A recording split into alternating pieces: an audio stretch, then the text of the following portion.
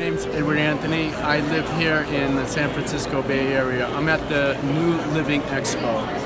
And I just had a treatment and procedure done with Dr. Luke Cua. This man is amazing. Uh, there are rare individuals that have the Qigong expertise like master, this master does. He treated me for some imbalances in my meridian system, one of which had to do with my gallbladder meridian.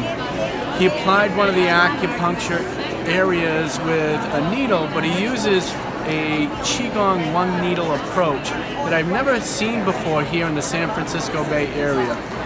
This actually helped me a lot. I had been suffering from a numbness through my neck in this area, fingers being numb because there's been blockages in this area. And the doctor applied the needle in his, his lights that he used with the Qigong.